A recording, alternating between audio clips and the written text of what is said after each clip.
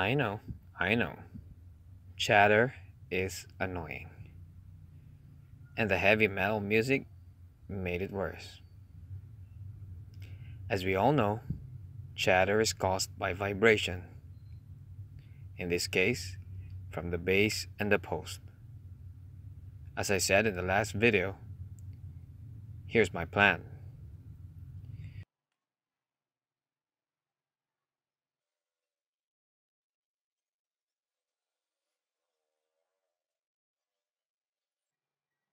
I'm gonna pour concrete inside the post.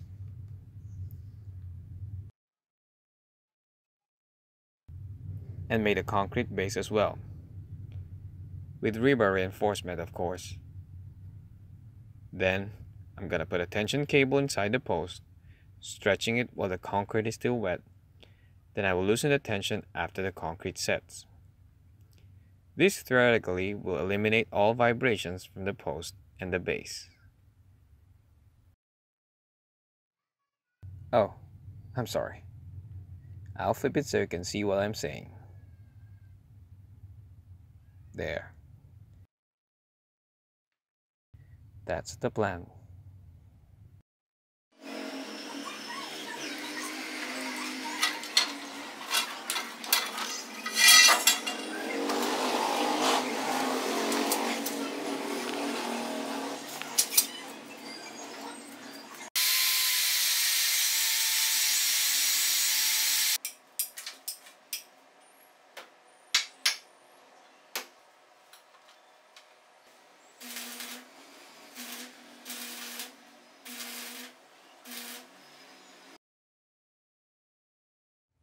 Before you ask, what is this ugly thing?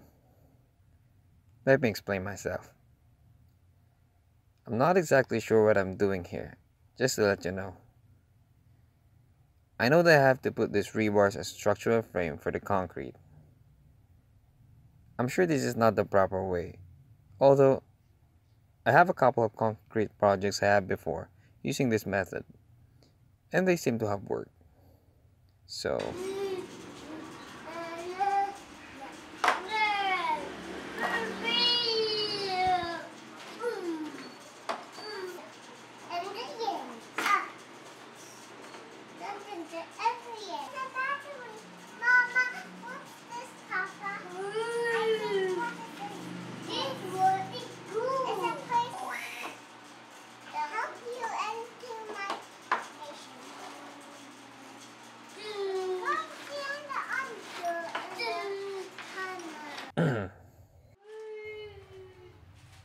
My apologies. Anyway, I welded these rebars to a shape that I think will support the concrete.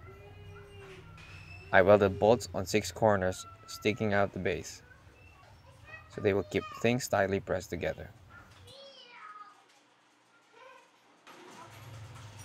This is the steel cable that I will be using as the tension rod inside the post. It will be pulled by this bolt and a knot on the top end. You'll see what I mean.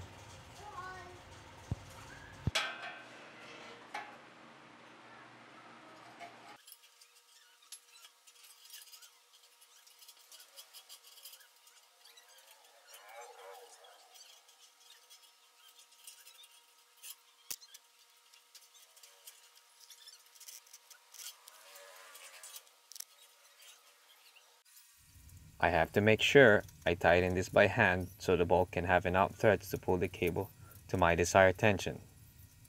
But the struggle is real.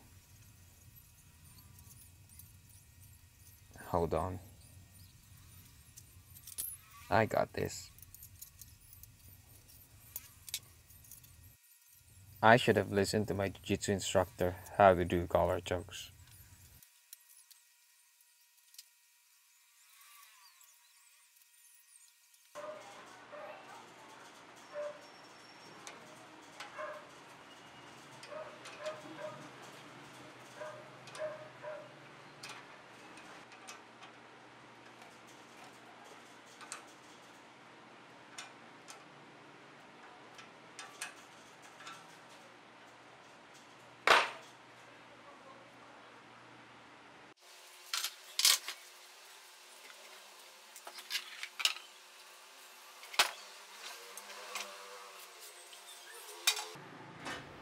Okay, this is the other side where the bolt is. The hat-shaped nut is from my old truck. I replaced it when I body lifted the truck. And that bolt also came from there.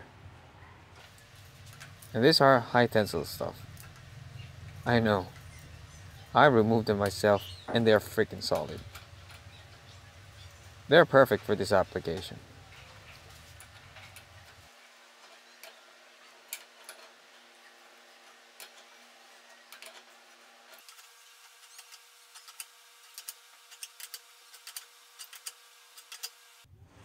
The tension is similar to guitar strings.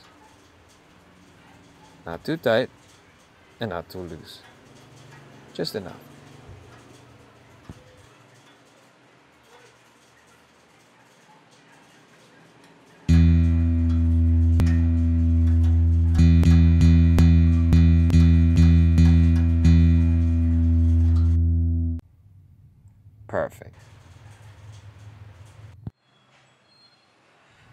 This is how you mix concrete when you're lazy. If you notice, the concrete mix is a little bit watery. I like that. In my very little, not very credible experience, they seem to work very well on formed structures. They sit very nicely through tight corners preventing hollow points.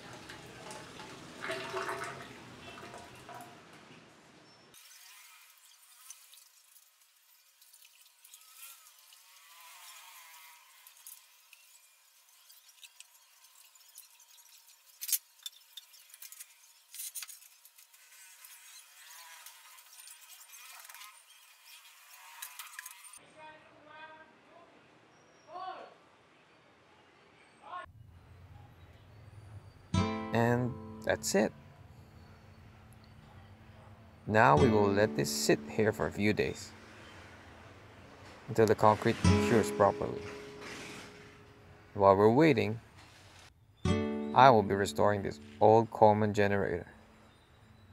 And we'll also fix this Yamaha keyboard's broken power plug. And I think I bought something that you'll all be interested in. So stick around and make sure to like and subscribe. I apologize for the poor quality shots and editing. I'm still learning along the way and I hope you bear with me. Just remember, if it's stupid and it works, it's not stupid. See you guys around.